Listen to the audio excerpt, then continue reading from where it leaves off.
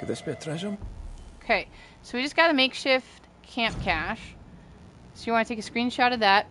This is the hunter's camp. This is the uh, blacksmith forge right here.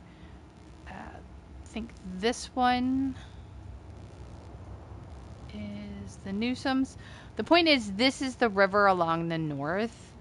This is the way we went to Fiery Grove, so we'll come back this way.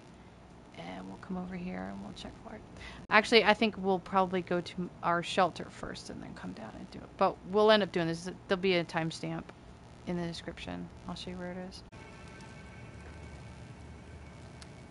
Okay, we are back in the hunting camp and we are going to go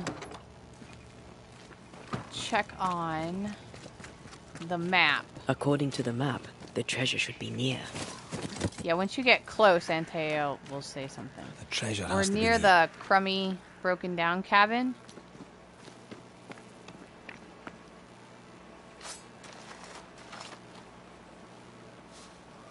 Scourge accretion. Now those are used for upgrading, and that's what I got last time. So I think that's not random. I think that's probably what you get every time.